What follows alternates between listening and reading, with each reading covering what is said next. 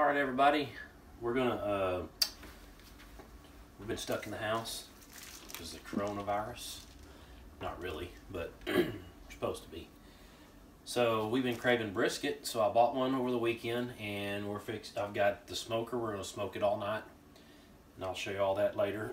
but we just have a regular. Uh, I think this is a a choice brisket. It's about a 14 pounder, and we're fixing to trim it out of, or get it um, out of the package. I'm gonna rinse it off, pat it down dry, and then we're gonna put it on this deal. We'll start trimming some of the fat and some of the stuff off the top. Get it all ready. Trim some of that cap off the back, so fat the fat side. So I'm gonna get it out of the package now. Hope all y'all are staying well, all of our friends. And y'all have plenty of food. It's not really that wet.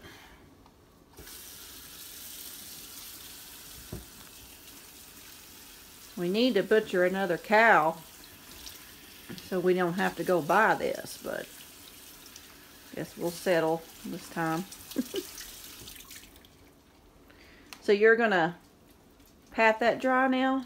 Yeah, you want get some, paper, towels? yeah. Okay. All right, I'm gonna cut. I'm gonna start cutting. This is the back side of it. This is the flat, and then this is the point end. But it's the back side of the fat part. I'm gonna start trimming and cutting some of this fat off because this won't. This part here will not cook. Uh, I think they call it render. It's it's gonna stay. It's not gonna. It's not gonna melt away. Basically, is what I'm trying to say. So I'm just gonna trim it up. Start trimming it up with this knife and after I get it all trimmed up and ready here on the back then we'll uh, come back to you but it's got a lot that we're going to cut away here and get rid of so All right, you've got that. okay, this is the back, the, I'm sorry the fat side bottom and it's pretty much Yeah, look at all that. I mean you can leave you leave a little on there but uh get most of that so now I'll turn it over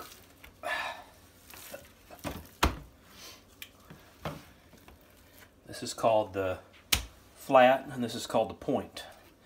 Now this right here we're going to get rid of this too. And then this deal goes all the way around. If you look, it's like this. So basically once we're done, when it's cooked, we're going to cut down at an angle and then this is the point The good it's gonna, end is going to be off and this will be the slat the stuff for for slice. for slicing. So we're going to get rid of th- this hunk of fat here. You will never, it won't, it's not going to cook down. I mean, it's like solid. So we're going to trim it, get,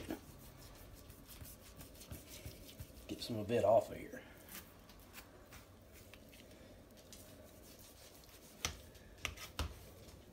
Some people cook that down and keep the fat off of it for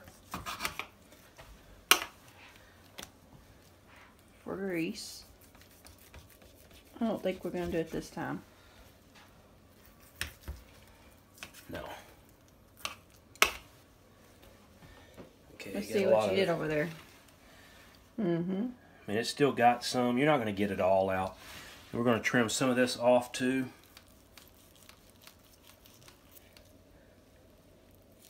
Y'all wait till see how he makes a bark with all these spices. Oh, they're so delicious. Has a good crusty bark on it.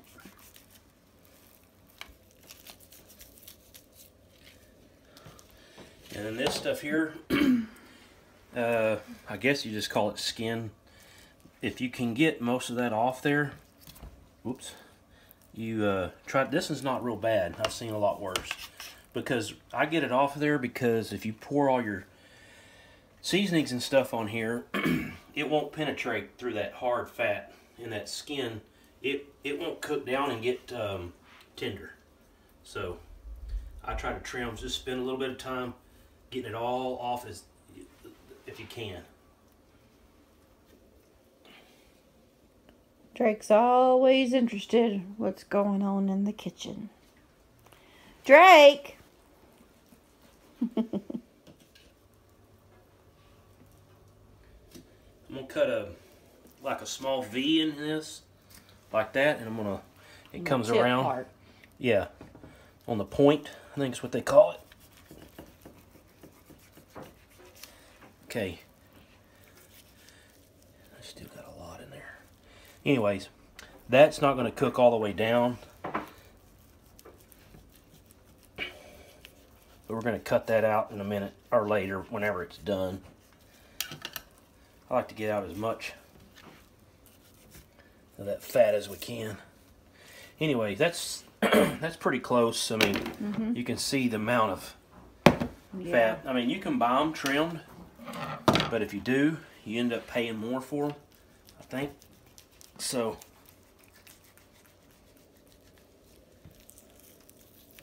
I guess that's fat all the way down, so we'll just cut that out later. But that's just solid lard. Mm-hmm.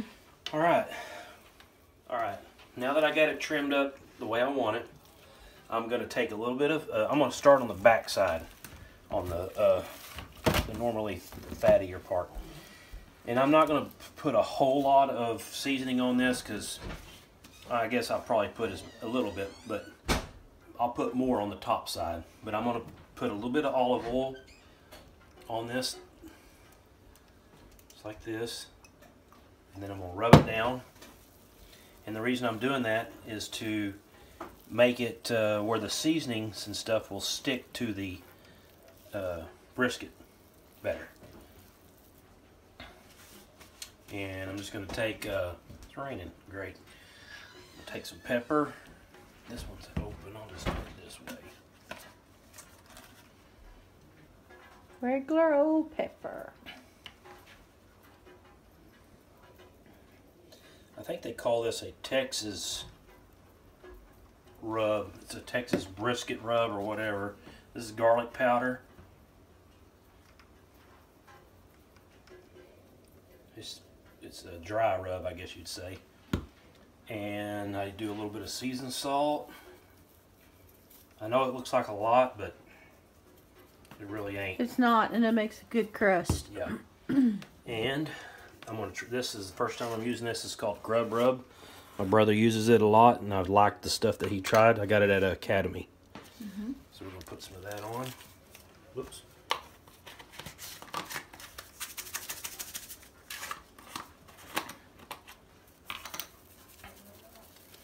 Want to cover it so it doesn't have any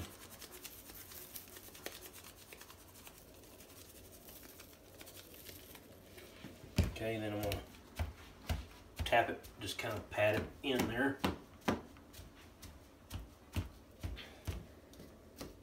This is the bottom part, mind you. We're gonna cook it with this side down on the smoker. Yeah, I'll flip that dude over.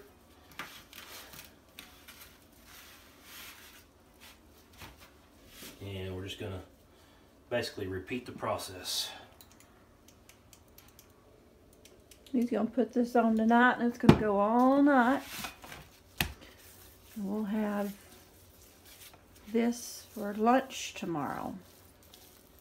With some potato salad. Be the first Sunday that all the churches are closed down here in Texas because of the corona. Be weird not going to church. We're gonna have it online. All right, might as well try to use up the rest of this. So you put more on the top than you do the than you do the back. Right? Uh, well, I guess. I mean, I,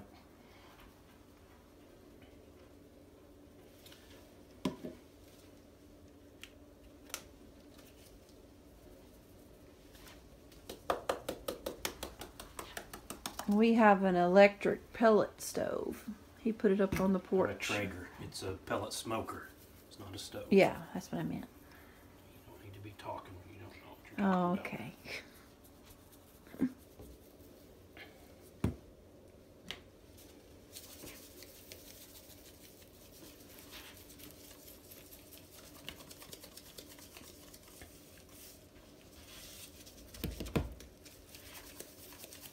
Hopefully we won't be smelling this all night. Surely not on the porch.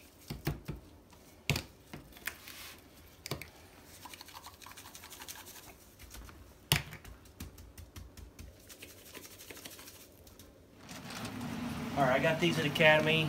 You can use Traeger pellets. You can use whatever you want. This is hickory. Uh, just gonna pour them in this hopper over here. And I put it on smoke, and I'm just now getting it started.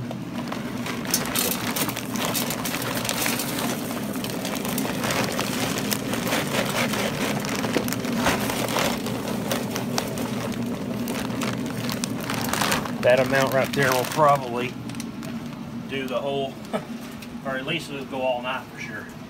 But I'll check it. I just got it started. It's just now starting to build up smoke, so we'll be ready to put it on here in a minute.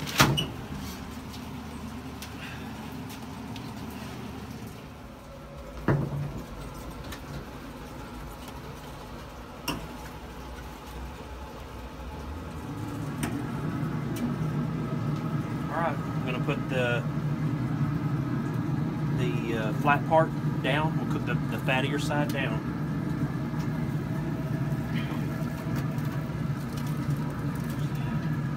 Just like that.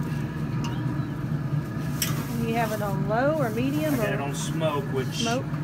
you want it to be about uh, about well everybody has their preference I, I, I like it between 180 and uh, about 220 so you get it too hot and then you're not smoking anymore you're barbecuing so there we go.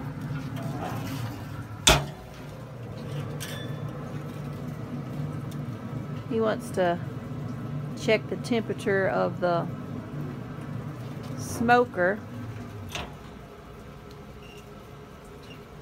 to see if it's because it's cold outside. cold outside. Sometimes what I'll do, if the wind's blowing or whatever, I have a cover that I usually cover it up with. And I'll take this rack off and I'll lay that cover over it just to kind of help insulate the deal. So, because I don't have the fancy one yet that has the digital thermometer on it. You can set it exactly what you want. Mine's either smoke, medium, or high. So if it's really cold, I'll have to run mine on medium to get it to maintain the temperature I want. But right now we're at what? We're still climbing. We're at 178. If it'll get a little warmer than that, I may be able to leave it on smoke, and then I'll just cover it with that for the night. We'll, should be good And it's about 7:30 in the evening. Yeah. in the evening. So what I'll do in the morning after I, I'll probably get up around 7:30, 8ish, and then I'll come outside and put. I will probably check the bark see if it's good and hard, and then I will wrap it in foil, and we'll continue to cook it for another probably two or three hours. And then when we take it off, whenever it reaches about 205, anywhere from 195 to 205, somewhere in there is done. And then we're going to take it out and put it in, uh, wrap it up, and let it rest in an ice chest. And we'll show you all that later. That's perfect if it'll stay like that right there. Mm-hmm.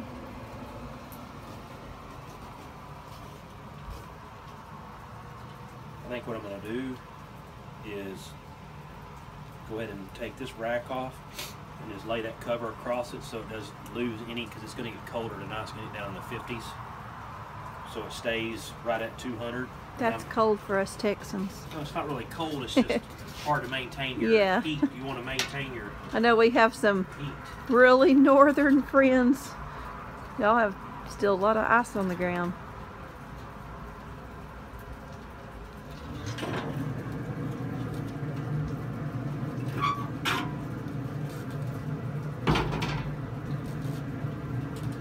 I like to keep this in here so I can always check it without having to. Open it.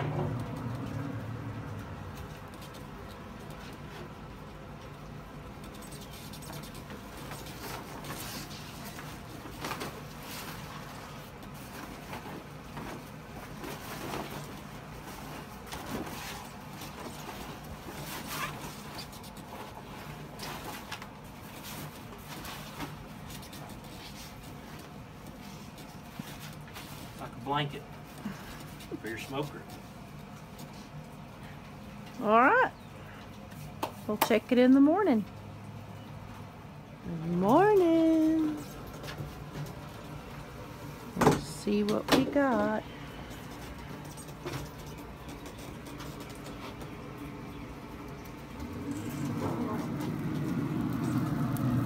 Mm, looks really beautiful.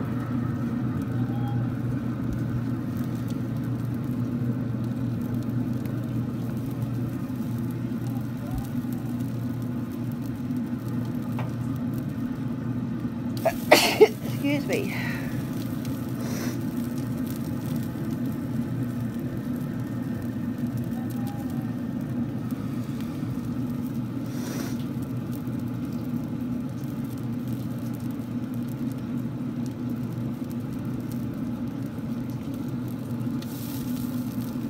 It's getting close. It's at 187. Excuse me. It's almost done. Is it done? Almost done. It's at 180 something. It needs to be about 190. 190 to 205, or 192 to 205. But it'll continue to cook in that foil. It won't cover it up.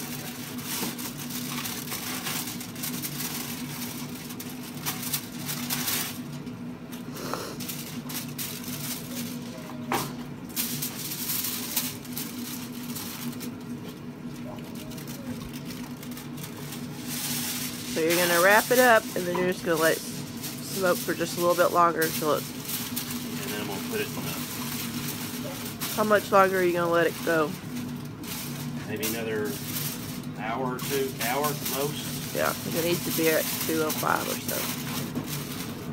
Alright, but we're getting close. It's a beautiful morning.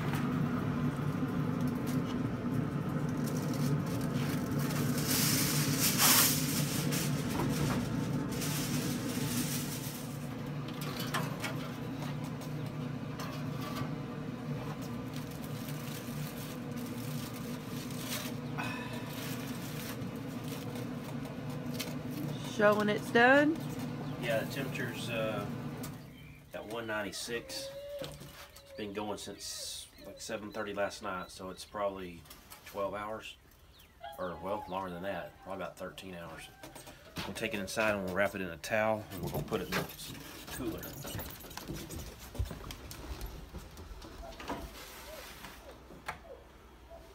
No Drake.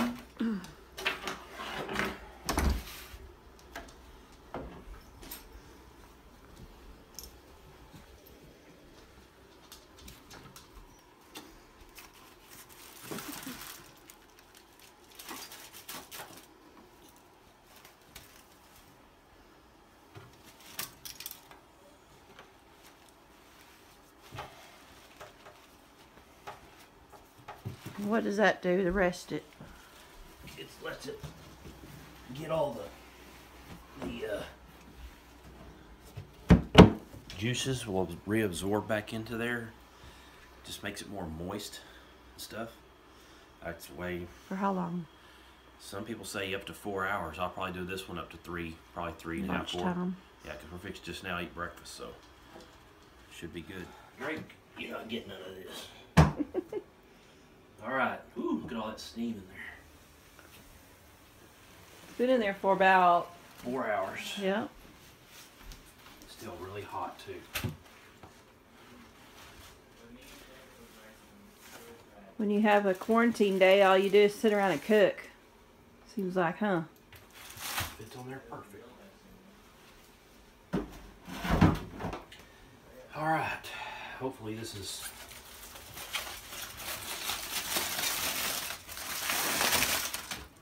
Smells good, guys.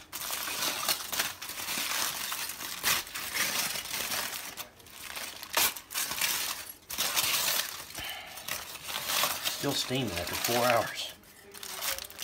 Yeah. That's the burnt ends. You want to lift it up and I'll grab the foil? Well, what do you think? Or was you going to keep it in the foil? I don't guess it matters.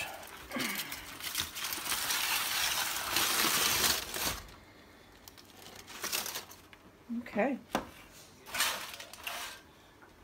That's the cap. We can cut. Get that. Mm. It's very juicy. Okay, that's the flat part. And here's the point. That's supposed to be the best part. Let's try this. Now that's what you call a burn in, isn't it? Mm-hmm. Go ahead.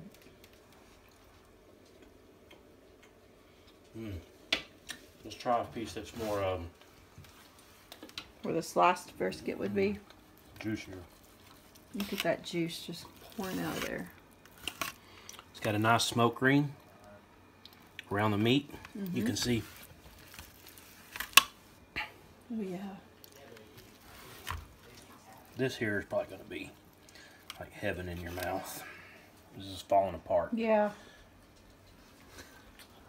Oh, Yep. right on point. I was worried that it was going to be a little dry, but it's not. And this bark is is perfect. It's really good. You can chop this up. A lot of people make chopped out of this and then sliced out of the flat part, out of the point. So, You could even make some tacos. oh, you can do whatever you want. You put some barbecue sauce on it, and Mm. so